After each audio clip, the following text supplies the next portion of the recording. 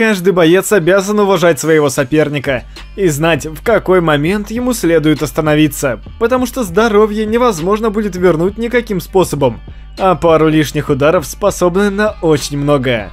Сегодня мы поговорим о 10 бойцах ММА, которые не стали добивать своего противника. В сентябре 2019 года Джастин Гэджи и Дональд Сиронна возглавили турнир UFC в Канаде, и уже по взвешиванию было понятно, что эти парни давно знают друг друга. Бывшие спарринг-партнеры неплохо так зарубались в былые времена, и по словам Хайлайта, именно Ковбой стал первым парнем, который потушил ему свет на тренировке своим фирменным хайкиком. Спустя долгие годы им пришлось встретиться в клетке, и на этот раз все сложилось по противоположному сценарию. В конце первой пятиминутки Дональд ринулся в атаку и пропустил мощнейшие попадания на ближней дистанции, после чего он только защищался. Проявив огромное уважение, Джастин несколько раз остановился и посмотрел на рефери, дав ему понять, что пора заканчивать.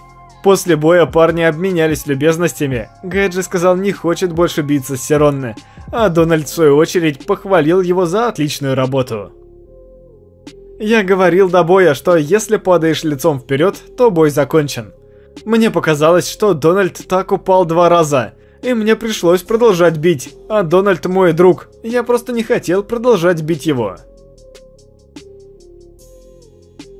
На турнире Центурион Бен Дэвис проявил невероятный акт милосердия в поединке с Масламом Русламом, после того, как он не стал усугублять последствия своих ударов.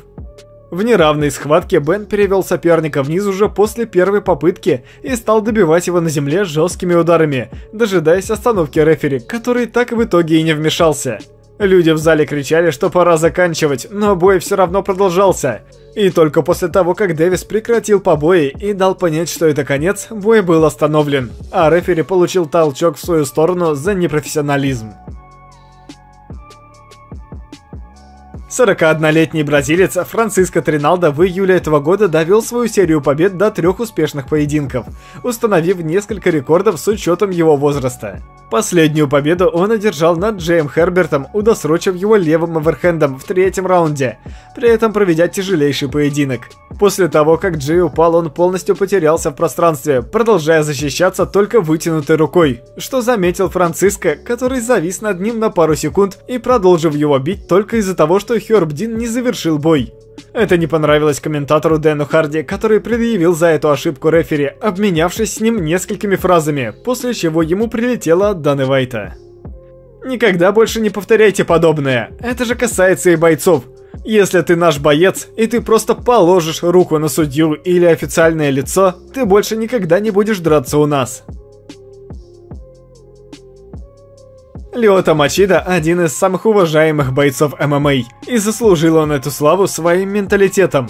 Уважение до и после боя не пустые для него слова, ведь в октагоне он также придерживается принципа не навредить, в чем можно убедиться, посмотрев его победы. На турнире в Англии в конце 2013 года он провел встречу с Марком Мунизом, своим другом, о чем было понятно уже на взвешивании бойцов. Отправив Марка на пол хайкиком, бразилец не нанес ни единого лишнего удара, дождавшись остановки рефери. Спустя пару секунд оба спортсмена обменялись уважением, заставив зрителей в зале аплодировать стоя. Для меня это был очень сложный поединок, потому что Марк мой друг, но как профессионал я не должен был думать об этом. Теперь, когда все закончилось, наша дружба продолжается. Спасибо за борьбу со мной, Марк. Я сожалею о том, что это случилось. Это наша работа. Рой Нельсон также остался недоволен поединком со своим другом Антонио Сильвой, когда ему пришлось наносить тяжелейшие удары по разбитому бразильцу, дожидаясь остановки Джона Маккарти. Большая деревенщина был взбешен работой рефери, после чего он пнул его и показал ему средний палец. Это был толчок. Я сказал ему, мужик, ты чего? Потом мы поговорили в клетке. Я говорю, чувак, он был в нокауте. А он говорит, нет, не был. А я знаю, что такое нокаут. Я нокаутировал людей. Я делаю это, чтобы жить. Я не хотел вредить Бигфуту больше необходимого. Меня это зацепило. Я выбиваю из человека дух, и когда достаточно, тогда достаточно. Это задело мои чувства. И я извиняюсь перед Большим Джоном, но назад сделанного не беру. Меня расстроило то, что пришлось бить парня, которого не нужно больше было бить. Позже появилось фото, где две стороны уладили конфликт, закончившийся пинком от Маккарти. Последнюю свою победу Роналдо Жакаре Соуза одержал в 2018 году. Но именно за то, что он сделал после победы, фанаты будут помнить его еще долгие годы. В противостоянии с Крисом Вайдманом первый раунд остался за американцем, который выглядел заметно быстрее и нанес намного больше ударов. Во втором раунде Соуза выровнял поединок, сумев навязать сопернику рубку на средней дистанции. Вайдман же заметно замедлился. В третьем раунде показалось, что Крис сумел сохранить больше сил, и он снова был более активным. Однако ближе к концу раунда он пропустил тяжелый удар правой и оказался на полу. Рефери некоторое время не останавливал поединок, хотя Роналдо указывал на то, что Крис уже в нокауте. В итоге Соуза нанес пару добивающих ударов, после чего бой все-таки был остановлен. Бразилец в итоге оттолкнул рефери, после чего, коснувшись его плеча, неодобрительно покивал головой, намекнув на позднее завершение боя.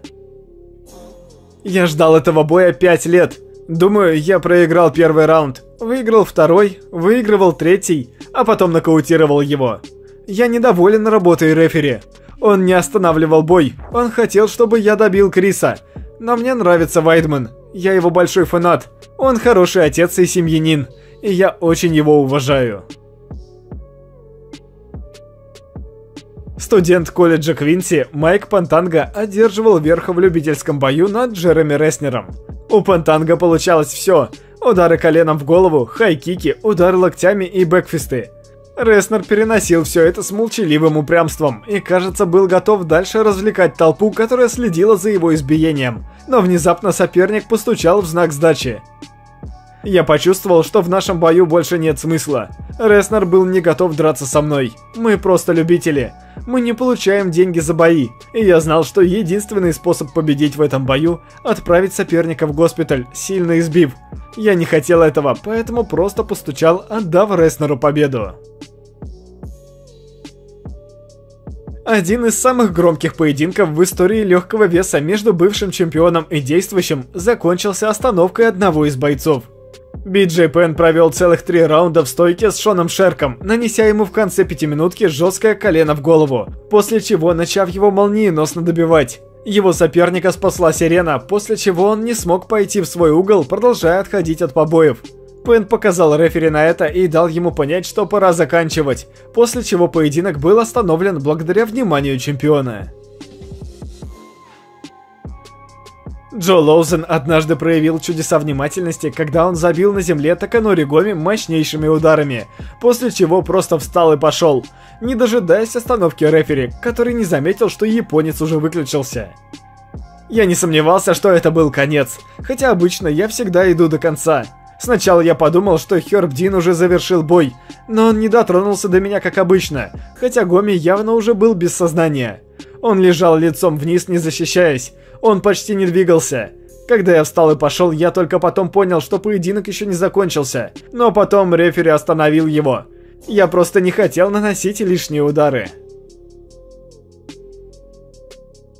Магомед Бибулатов записал в свой актив хорошую победу над бразильцем Джесиелой Сильвой на турнире ACA 100. Пробив сопернику лоу-кик во втором раунде, он не стал его добивать, нанеся пару показательных ударов и дав понять рефери, что все кончено, тем самым получив уважение от зрителей за столь уважительный поступок.